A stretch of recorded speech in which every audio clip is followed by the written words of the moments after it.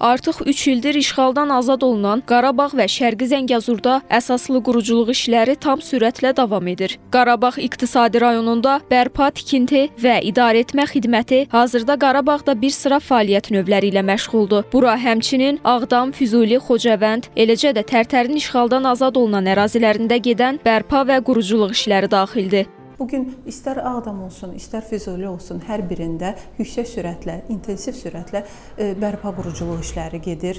E, Ağdamda e, böyük qayıdış proqramının birinci mərhələsinin icrasına əsasən 2022-2026-cı illərdə 4 kənd məntəqəsinin 2 yaşayış massivinin tikintisi planlaşdırılır.